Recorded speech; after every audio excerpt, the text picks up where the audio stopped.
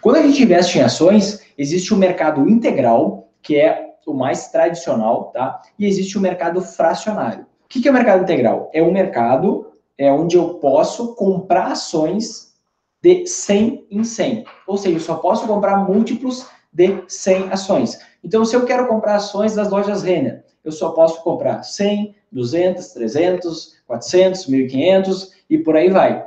É só múltiplos de 100.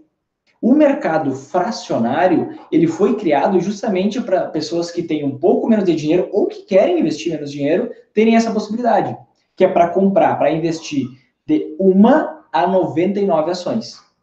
E como a maioria das pessoas investe pelo mercado integral, esse mercado fracionário é menos conhecido e tem menos gente comprando e vendendo ações ali nesse mercado fracionário. Tem muito mais gente no mercado integral. Como que eu acesso né, o mercado integral e o fracionário?